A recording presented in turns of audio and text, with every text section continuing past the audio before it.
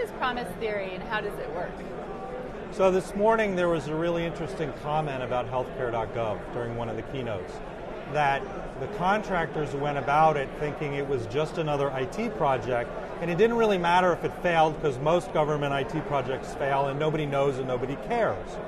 But this one was different because everyone in the country cared. And I think this is an example of a trend that we're seeing, which is that IT isn't really a private backroom matter anymore.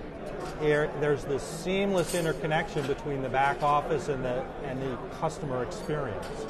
So what we're seeing is that IT systems are becoming much more complex and more interconnected. Um, and complex systems are much harder and different to manage uh, because failure is unavoidable and inherent in them. And in fact, when you try and over control them, you make it worse. If you think of a forest where you try and clean it out so there are never any fires, when there is a fire, the whole forest burns down. Whereas if you leave some brush in, the forest will kind of rejuvenate itself. And we need to start taking that kind of approach to IT systems. And really, what promise theory is, is it's a deceptively simple way of thinking about complex systems and the relationship between failure and success and uncertainty and certainty. So, if you look at a variety of things, everything from a computer system to a data center to an IT organization and to an entire company, you can look at it in terms of components that collaborate with each other by making promises. So, what is a promise? Um, it's basically the idea that I have an intention to provide you some value. And I, and I really intend to do it, and I'm going to work very hard to do it. So, if you think about an operating system that has an interface to the file system that lets you write things to the file, it makes a promise, which is if you write something to this file and you come back an hour later and you ask me what's in the file, I'm going to give you back the answer that you expected. And I'm going to work very, very hard to keep my promise. And most of the time I will. But guess what? Every once in a while I'm going to break my promise. And the interesting thing is what promise theory lets us do is make this idea of intention and uncertainty explicit. And when it is explicit, what happens is that the responsibility is on us to evaluate how trustworthy the system we're working with is and make contingency plans. So, for example, when people say you should always back up your data, basically what they're saying is that this well engineered computer might break its promise. And, and if you lose all your data because you didn't back up, you kind of can't complain because you didn't deal with the reality. Um, so, when we look at things like um, you know, DevOps and, and cloud and new IT kinds of approaches, we can, we can actually see this at work in a, in a lot of familiar areas. And the interesting thing is that when we deal with uncertainty and make it explicit, we ironically can build systems that are more certain and more reliable. So if you think about something like an auto-scaling load balancer, a website makes a promise which is no matter how many users there are, I will give you back a web page in so many milliseconds. And it's happily plunking along, and all of a sudden the load balancer says, uh oh, the servers I have aren't going to be able to keep this promise in a minute, so I better spin up some more. Um, or if you look at uh, even something like continuous integration, uh, developers make a promise to each other, which is, I won't check in code that breaks the build. But guess what? They break that promise all the time. And so the reason you have a Jenkins server and the reason you run unit tests is so that you can catch that broken promise and repair it. The other dynamic is that when you treat the pieces of a complex system as autonomous and think about them as voluntarily making promises instead of just doing what they're told, you can build systems that are much more scalable and much more resilient. That's really where people are trying to go with microservices, particularly when you look at it as an organizational pattern and not just an architectural pattern. Um, when we talk about agile and we talk about scaling agile, it's funny because we kind of forget everything we learn. Agile is this nice sloppy process that lets us deal with change and uncertainty. And then when we scale it, we think we have to lock everything down. Well, we have these features that cross teams and we have these release trains. And if everything doesn't get out on time, things will be bad. So we kind of try and construct this hardwired Rube Goldberg device. It's funny for me personally because I, I grew up, my father's an architect, and I grew up listening to him talk around the dinner table about managing construction projects. And guess what? They're all about managing uncertainty. Right? Painter falls off a ladder, breaks his leg, can't paint for two weeks. What do you do? Um, you know, there's a dock strike in Brazil and the teak delivery is delayed or the price of teak goes up. What do you do?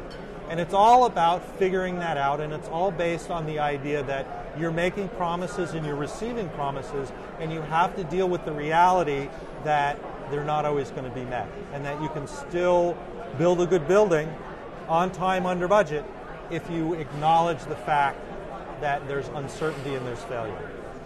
So, did you come across the theory and why did it resonate with you? You mentioned growing up with your dad as an architect, but what, what else what else really struck you? Well, I was introduced to it by Mark Burgess, who's the person who conceived it. He's also the guy who invented CF Engine, and he's been thinking about system administration theory for 20 years now, and he's really way ahead of the rest of us.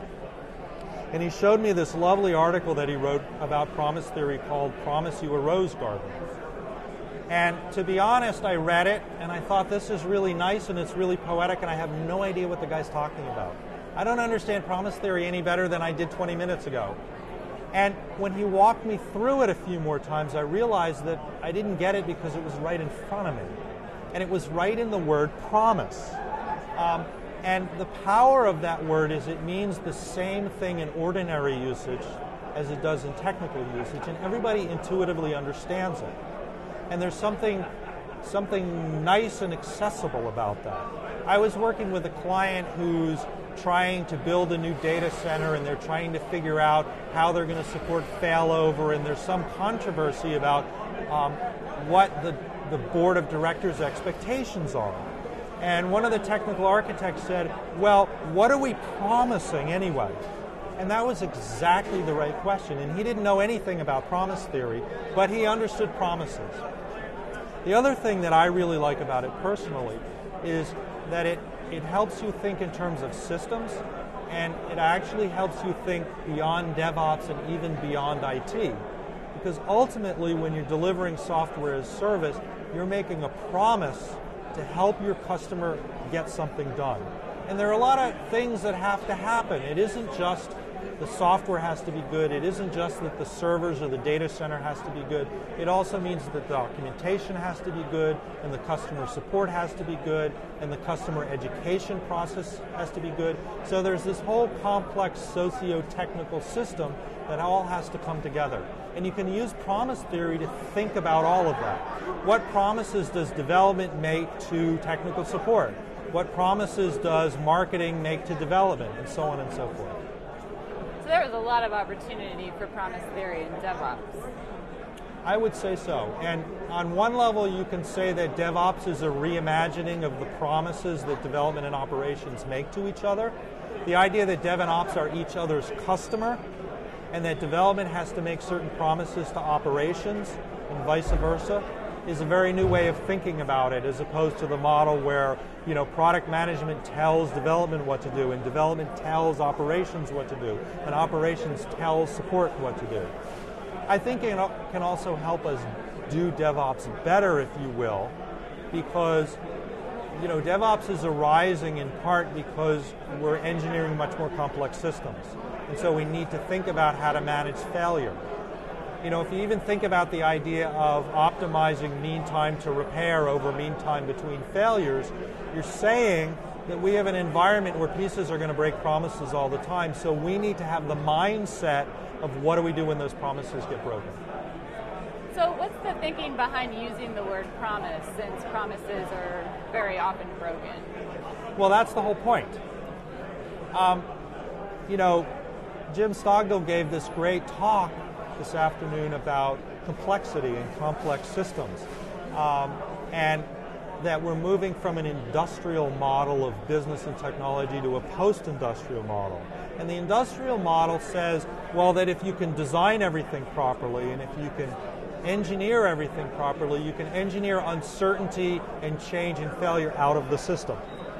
Um, the post-industrial model says, well, failure is all over the place and it's actually how we improve and how we learn. So we need something that, that allows us to think and talk and engineer in terms of things get broken all the time. So your statement, well, promises get broken all the time, that's not a flaw, that's a feature, right? That's a reality, so let's embrace it and let's talk about it. And so, do you see any synergies between promise theory and the blameless postmortems that John Allspaw talks about? I do. I see lots of them. Um, and in a sense, I could just repeat what I just said. You know, what, what John is focused on is the idea that quote unquote mistakes and failures are inherent in, in the complex systems that we're building. And the idea behind a blameful postmortem is it shouldn't have happened. So let's find what or who was at fault and engineer them out. Whether it be engineering a, a, a piece of the system out or engineering an engineer out and firing them.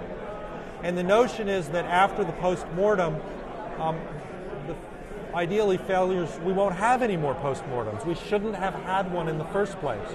And I think John's approach is no, post-mortems are part of steady state. They're part of our whole operational culture. And we use them as a, as a learning mechanism.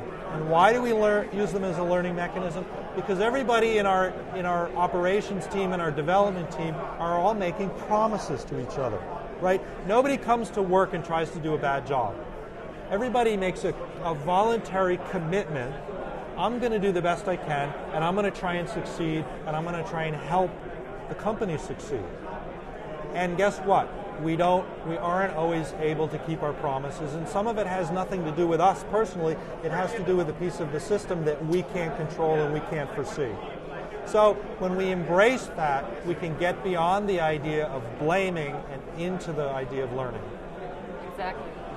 So shifting gears just a little bit, what are the things you're finding interesting these days? What people or projects are you really keeping an eye on? Well, to some degree, because I, I have the great honor of um, being in the middle of writing a book for O'Reilly, that's like what I think about all the time. Um, but what I'm trying to do with the book is, is, really bring together some ideas that are exciting to me. Um, and it, it, comes down to thinking beyond DevOps and thinking about how IT gets more and more closely integrated with the entire business and what it means to think about service and what happens when we start to unify engineering and design perspectives on things. You know, part of what complexity tells us is you can't analytically engineer correctness. You kind of have to continually design your way towards solutions. And so I'm really excited about exploring ideas like promise theory and DevOps and cybernetics, and how do we unify those with things like lean UX and service design in order to kind of expand our perspective. You know, John, when he talks about blameless postmortems, will say things like, well, we can't rely on objective reality anymore. That's a pretty wild thing to say. And, you know, it's a pretty postmodern, post-industrial thing to say. And, you know, when you look at his work and you look at, at people he's studied like Sidney Dekker and they talk about, you know, postmodern philosophy, we're having to start to absorb that in IT in order to be able to, to build things like healthcare.gov and make it work.